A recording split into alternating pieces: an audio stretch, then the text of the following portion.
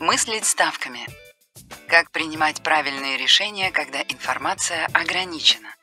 Автор Энни Дюк. За время одной партии в покер профессиональному игроку приходится принимать более 20 решений.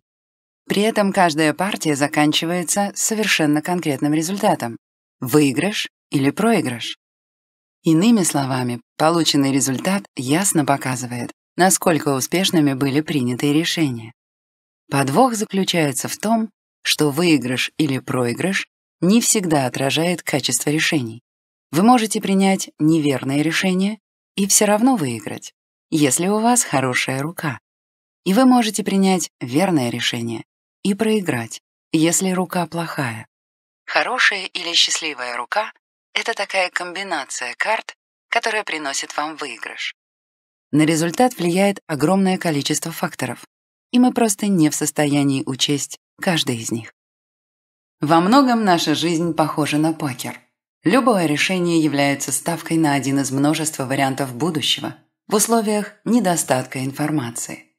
Именно это делает покерный стол прекрасным источником стратегий, позволяющих научиться принимать более качественные и верные решения, согласовывать их с нашими долгосрочными целями и избегать когнитивных ловушек, существенно мешающих этому процессу.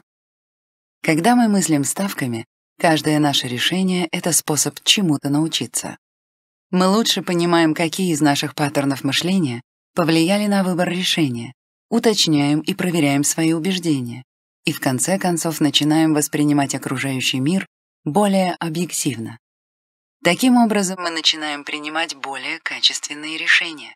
И даже если ошибаемся, это оказывает на нас менее разрушительное воздействие. Воспринимая решение как ставку, мы заранее признаем, что в большинстве ситуаций не можем быть стопроцентно уверены в результате. Мы становимся более сострадательными не только к себе, но и к другим, ведь никто не застрахован от влияния внешних обстоятельств, удачи или просто ошибочных убеждений. В этом саммаре содержатся простые, и эффективные способы разделять само решение и его последствия, формировать стратегии для принятия более взвешенных и объективных решений с учетом прошлого и целей в будущем. Стратегии, описанные автором, применимы и в бизнесе, и в личной жизни. Решение и результат. Смена восприятия.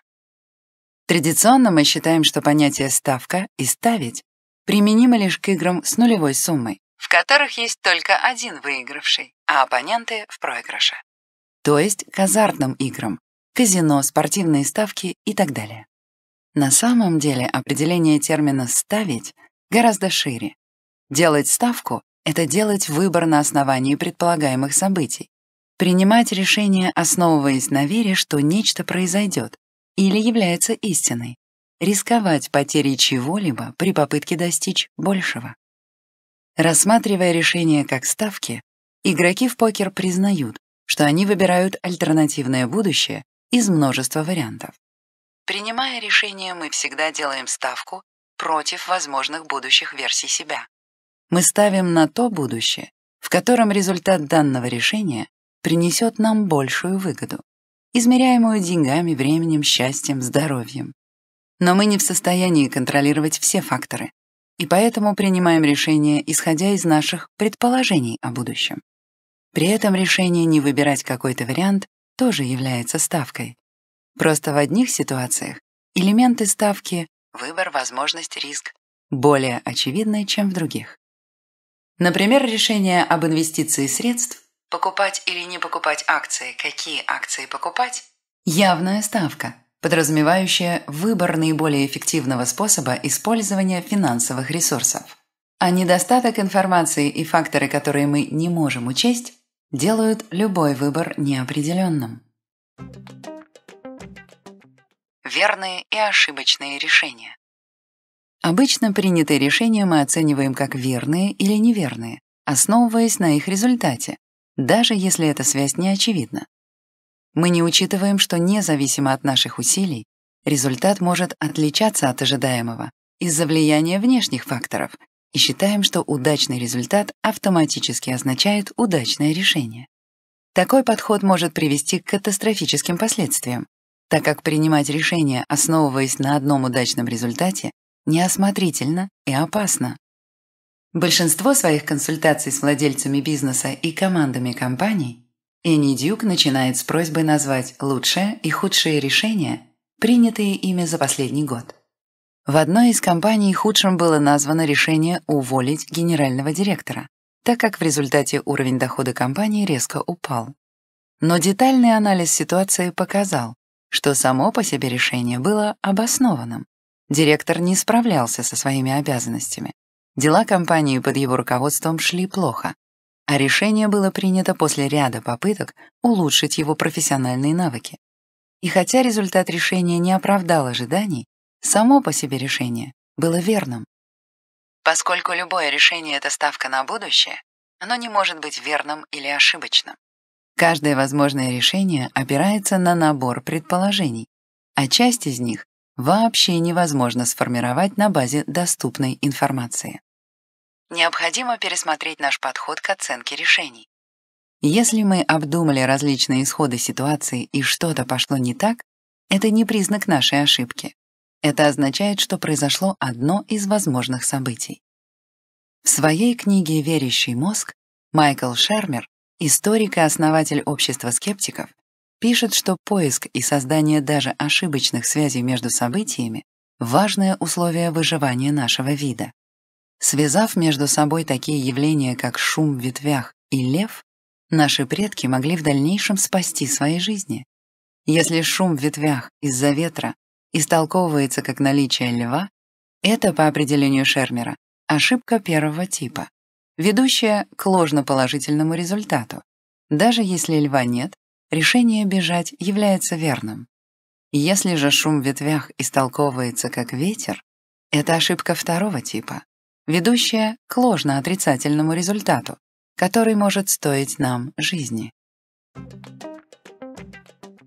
Как убеждения влияют на наши решения? Наши ставки верны настолько, насколько верны убеждения, лежащие в их основе.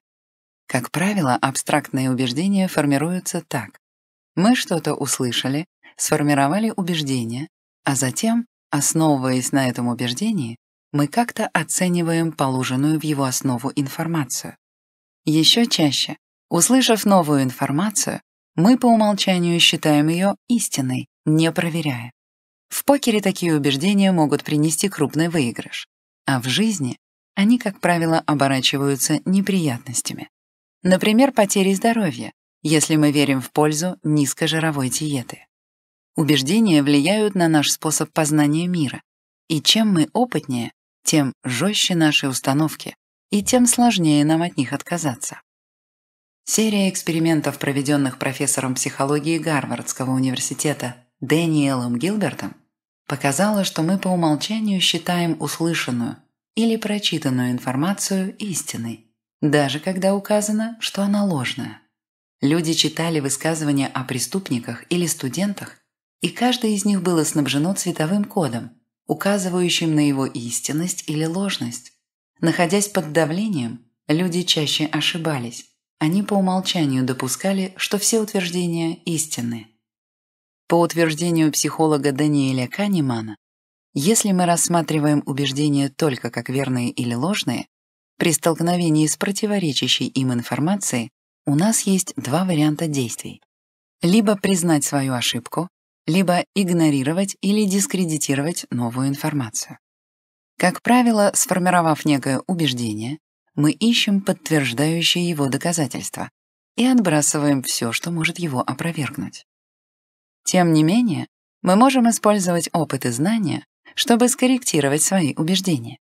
И чем точнее наше представление о мире, чем меньше фильтров реальности мы настроили, тем прочнее фундамент для наших ставок.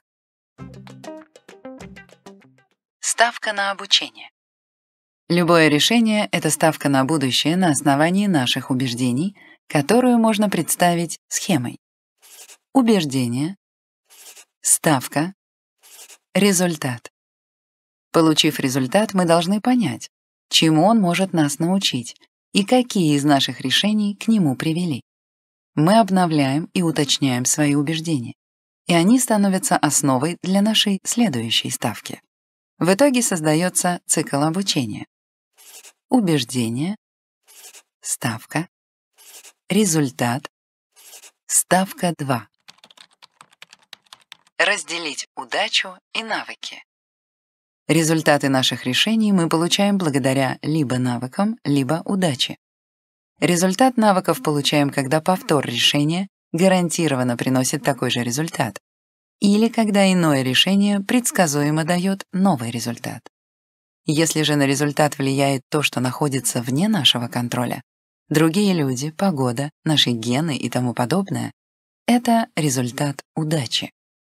Если мы сбросили вес, это может быть результатом изменения диеты или интенсивных тренировок, навыки, или внезапных изменений в нашем метаболизме, удача.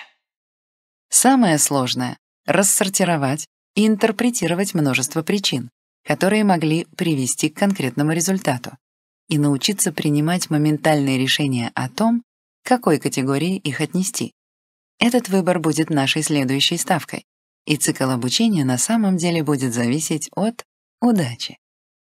Правильно распределив результаты, мы можем сосредоточиться на полезном опыте, навыке, и игнорировать все остальное, удача. Преодолеть предвзятость.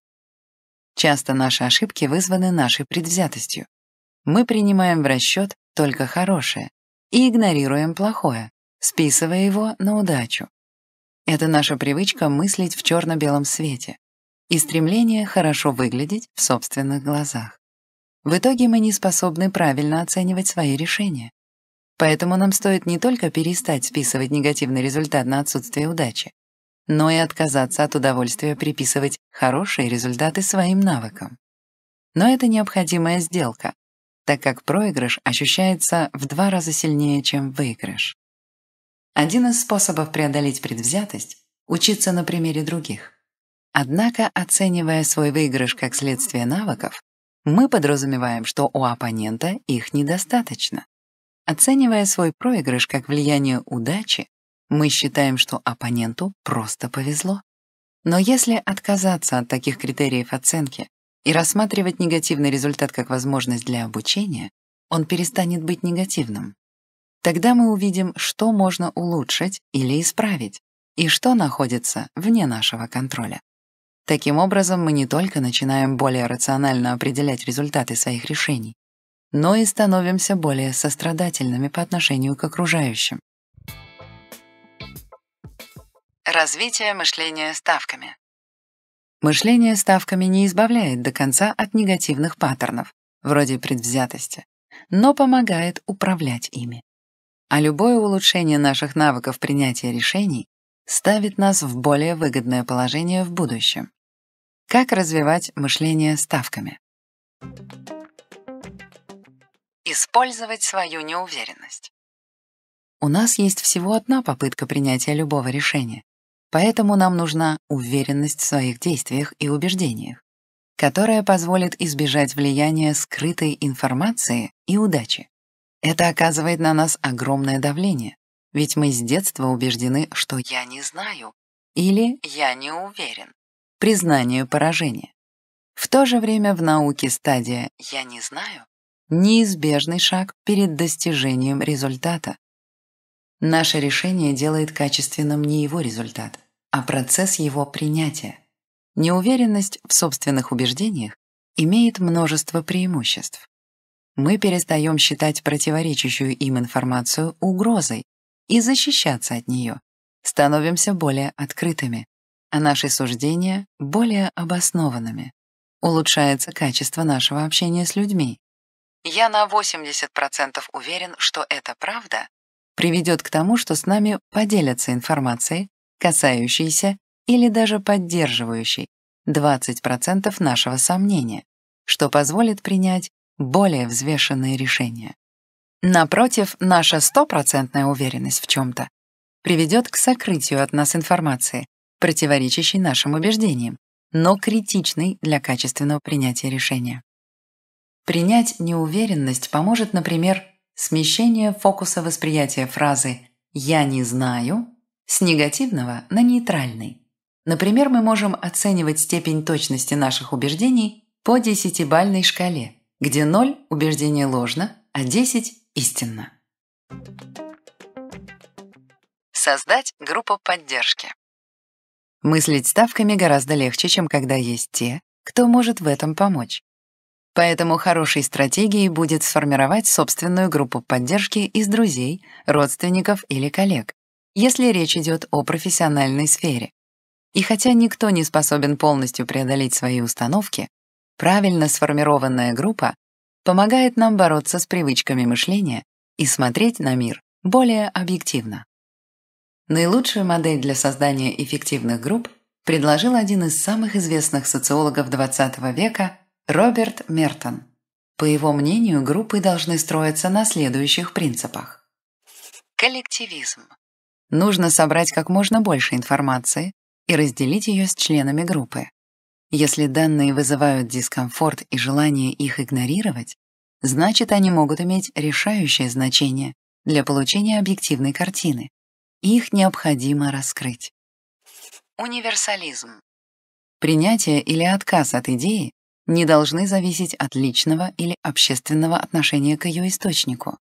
Независимо от того, какие факты, идеи, убеждения, мнения или предположения влияют на ситуацию, сама по себе информация может принести нам пользу. Но, как правило, мы игнорируем идею, если нам неприятен ее источник. Один из способов избежать этого — представить, что информация пришла из источника, который для нас более ценен, или менее ценен, если информация может укрепить наши установки. Беспристрастность. Внимание к потенциальным конфликтам, которые могут повлиять на оценочные функции группы. Мы всегда стремимся защищать собственные убеждения. Поэтому желательно, чтобы в группе состояло минимум три человека. Двое с противоположными мнениями и судья. Роль судьи заключается в том, чтобы сместить фокус двух участников спора с потребности утвердиться в собственной правоте на необходимость убедить в ней другого. В результате таких дебатов противостоящие члены группы могут прийти к компромиссу или лучше понять собственную точку зрения. Организованный скептицизм. Такой подход к восприятию мира, при котором мы постоянно задаемся вопросом, почему это убеждение может быть ошибочным? Скептицизм приглашает к дискуссии, дает возможность услышать иные мнения и встроить их в принимаемое решение. Общаться конструктивно. Поскольку ставка — это всегда некая форма ответственности, то излишняя сосредоточенность на собственных убеждениях может стоить нам выигрыша. Поэтому в общении с другими людьми, как в группе, так и вне ее, лучше всего следовать нескольким простым правилам. Выражать неуверенность. Это поощрит окружающих поделиться с вами информацией. Начинать с согласия. Например, выслушайте то, с чем вы согласны, ясно выразите свое согласие, а затем, выражая свое мнение, используйте союз «и» вместо «но». Это позволит слушателю быть более открытым к противоположному мнению и делиться с вами информацией более охотно. Учитывать потребности собеседника. Если человек находится под влиянием эмоций, спросите, что ему сейчас необходимо — выпустить пар или получить совет. Если первое, поддержите его, проявив понимание или сочувствие. Если же человек ищет совета, это может стать основой для обсуждения ситуации. Концентрироваться на будущем. Не обсуждайте прошлое, а попробуйте предложить такие варианты действий, которые могли бы изменить ситуацию к лучшему. Гораздо сложнее защищаться от того, что еще не произошло. Кроме того, взгляд в будущее поможет оценить причины возникновения ситуации в настоящем. Путешествовать во времени. Последствия решений редко проявляются мгновенно. Для этого нужно время. Принимая решения в настоящем, мы всегда хотим знать, как они повлияют на нас в будущем и что мы могли бы исправить в собственных решениях в прошлом. Точно так же, как мы обращаемся за помощью к другим людям, мы можем обратиться к прошлой и будущей версиям себя. Одна из целей путешествия во времени — не дать сиюминутным желаниям оказать на нас влияние и выиграть немного времени для оценки ситуации. А самый простой способ его совершить — задавать вопросы, позволяющие нашему прошлому «я» и будущему «я» участвовать в процессе принятия решений. Например, «Как я буду чувствовать себя, если выберу этот вариант?» Или «Как бы я чувствовал себя сейчас, если бы принял такое решение в прошлом?» При этом выбор направления «прошлое» или «будущее» — вопрос личного предпочтения. Вот несколько ситуаций, в которых полезно совершить путешествие и способы это сделать. Ночной Джерри. Привычка отдавать предпочтение настоящему «я» в ущерб будущему «я», которое есть у каждого из нас, это так называемые временные предпочтения. Мы следуем иррациональному желанию получить небольшое вознаграждение прямо сейчас, вместо того, чтобы дождаться большего. Эту тенденцию хорошо иллюстрирует ответ актера Джерри Сайнфилда на вопрос «Почему вы всегда поздно ложитесь спать?» «Я ложусь поздно, потому что я ночной парень. Ночной парень не хочет спать ночью. А в ответ на следующий вопрос «А как же подъем после пяти часов сна?» Он сказал «Это проблема утреннего парня, не моя. Ночной парень не думает об утреннем. Когда утром вы встанете измотанным и уставшим, вы будете думать, как вы ненавидите этого ночного парня». Когда мы включаем в процесс принятия решений будущего «я», мы получаем возможность оценить последствия наших сиюминутных решений, поскольку помним о долгосрочных целях. Своевременные сожаления. Сожаление, вероятно, одна из самых сильных человеческих эмоций. Обычно мы сожалеем о чем-то после того, как это произошло, когда уже не можем ничего изменить. Сожалея о решении до его принятия, мы получаем возможность сделать более правильный выбор отнестись к себе с большим состраданием, подготовиться к возможным негативным последствиям и избежать отрицательных эмоций. Бизнес-журналист Сьюзи Велш предложила использовать систему 10-10-10, чтобы рассмотреть наши сиюминутные решения с позиции будущего. Для этого каждый раз, когда мы собираемся принять решение, необходимо спросить себя, какими будут последствия моего решения через 10 минут через 10 месяцев, через 10 лет. Увеличительное стекло. Мы склонны придавать слишком большое значение влиянию конкретного момента на наше счастье. Происходящее влияет на наше эмоциональное состояние. Даже небольшой конфликт кажется значительным, пока он в разгаре. Но если мы перестаем смотреть на взлеты и падения через увеличительное стекло настоящего, меняется наша реакция на события мы устраняем негативные эмоции и сохраняем позитивные. Такой взгляд через увеличительное стекло хорошо иллюстрирует динамика фондового рынка.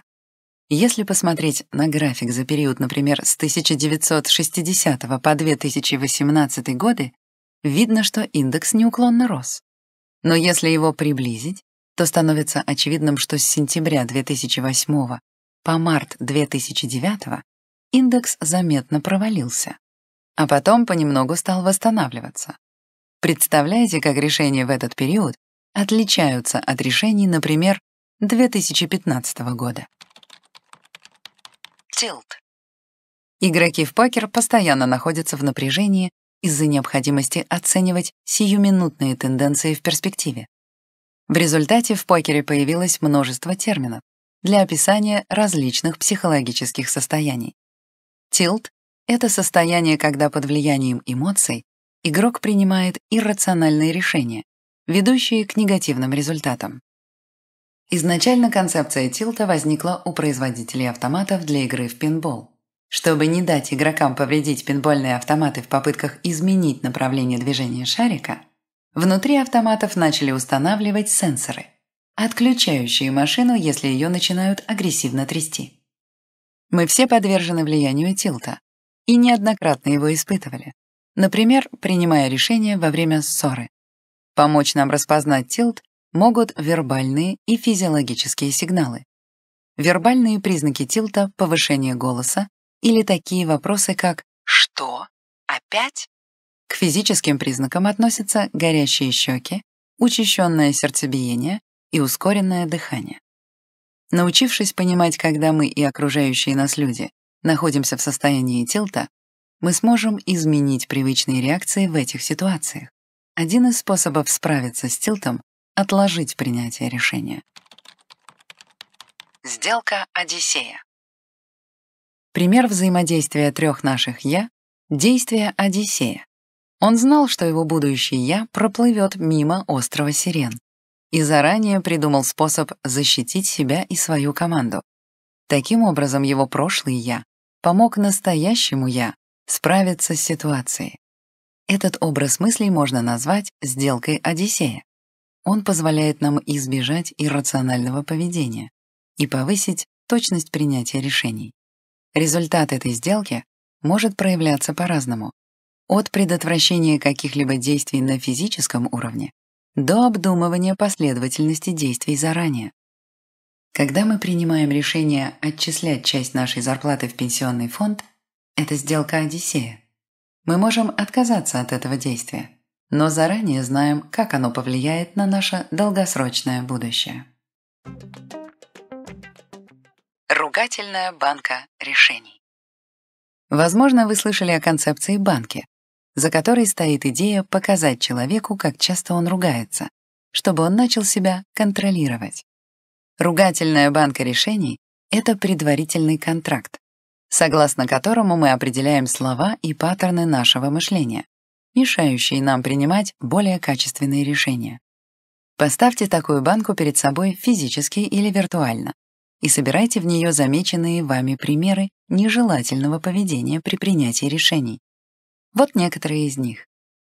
Иллюзия уверенности. Я знаю, я уверен, так всегда случается. Ты не прав. Такие слова сигнализируют, что мы чрезмерно уверены в своих взглядах. Сюда также входят такие понятия, как «хуже», «лучше», «всегда» и «никогда». Иррациональная оценка результатов. Сюда входят заключения об удаче, навыках, обвинение других и приписывание заслуг себе. Например, фраза «Не могу поверить, что мне так не повезло». Жалобы об отсутствии удачи с целью снять с себя ответственность и получить сочувствие других. Обобщающие суждения о людях с целью отвержения их мнений. Оскорбления такие как «идиот» или «осел» и любые другие подобные фразы. Недостаток сострадания к самим себе и другим. Излишняя самокритика и критика мешают объективно оценить принятые решения. Исследование и ретроспективный анализ будущего. Если любое наше решение — это ставка на определенное будущее, то прежде чем ее принять, нужно детально рассмотреть возможные варианты этого будущего. После того, как мы определили все возможности, мы пытаемся предсказать, какая из них более вероятна. Здесь речь идет не о том, чтобы точно угадать результат, а о необходимости признать многообразие возможных результатов и продумать наши действия при получении любого из них. Игроки в покер проводят исследование будущего в каждой партии. Прежде чем сделать ставку, они обдумывают все возможные варианты действий оппонентов. Например, пас, повышаю ставку, поддерживаю ставку. И варианты своих ответов. И чем более профессионален игрок в покер, тем дальше в будущее он смотрит, оценивая в том числе и то, как текущая игра повлияет на следующую. Такой подход можно применять при планировании, например, стратегии роста продаж, развития бизнеса, судебных процессов и другое. И хотя мы можем исследовать будущее сами, работа в группе будет более эффективна, так как позволит охватить большее количество вероятностей. Когда мы рассматриваем будущее с позиции настоящего, нам сложно оценить реально необходимые действия. Когда мы думаем, что может произойти, мы основываемся на результатах наших прошлых решений. Любопытно, что за воспоминания о прошлом и представление будущего отвечает одна и та же часть мозга и нейронная сеть — гиппокамп и префронтальная кора. Иными словами, представляя будущее, мы вспоминаем его. Это можно использовать как стратегию для повышения качества решений. Визуализировав во всех деталях свое идеальное будущее, мы можем провести ретроспективный анализ причин и решений, которые нас к нему привели. Точно так же мы можем провести ретроспективный анализ негативного будущего, представив себе, что реализовался самый плохой из наших сценариев. Например, планируя свою стратегию в суде, адвокат может представить, что он уже выиграл или проиграл дело, и затем шаг за шагом обдумать, как он пришел к каждому из вариантов. 10 лучших идей. Удачный результат не всегда означает удачное решение. Принимать решение, основываясь на одном удачном результате, неосмотрительно и опасно. Любое решение — это ставка на будущее, поэтому само по себе оно не может быть верным или ошибочным. Если что-то пошло не так, это не признак нашей ошибки. Это значит, что произошло событие, повлиявшее на результат. Наши ставки зависят от наших убеждений. Чем вернее убеждения, тем вернее ставки. Результаты наших решений должны помогать нам менять убеждения. Мы не любим менять свои убеждения. Если новая информация противоречит нашим убеждениям, мы часто ее отвергаем, уменьшая свои шансы принять качественное решение. Мы получаем результаты благодаря навыкам и удаче. Навыки зависят от нас, а удачи нет. Нам стоит научиться разделять результаты навыков и результаты удачи. Вредно приписывать хорошие результаты нашим отличным навыкам, а плохие — отсутствию удачи. Мы можем учиться, изучая результаты других людей, но нам мешает предвзятость. Нам не стоит думать, что человек получил плохой результат из-за отсутствия навыков, а хороший, потому что ему повезло. Мыслить ставками значит принимать решения непредвзято, используя всю доступную информацию и свои навыки, и понимать, что на результат могут повлиять неподконтрольные нам события. Мышление ставками можно развить. Для этого надо учиться признавать, что мы чего-то не знаем, и быть открытыми новой информации. Создать группу поддержки, чтобы усилить анализ и прогнозирование. Общаться конструктивно, стремясь получить новые сведения. Путешествовать во времени, вовлекая в принятие решений будущего, прошлого и настоящего «я». Создать банку, в которую складывать замеченные примеры поведения, мешающего принимать решения качественно. Проводить детальный анализ будущего, постепенно раскручивая последовательность решений, которая должна привести к результату. Научившись мыслить ставками, мы используем каждое наше решение, чтобы чему-то научиться. Негативные результаты перестают быть плохими, превратившись в поле для исследований. Мышление ставками делает нас более сострадательными к себе и к другим. Мы осознаем, что никто не застрахован от влияния внешних обстоятельств, удачи или просто ошибочных убеждений.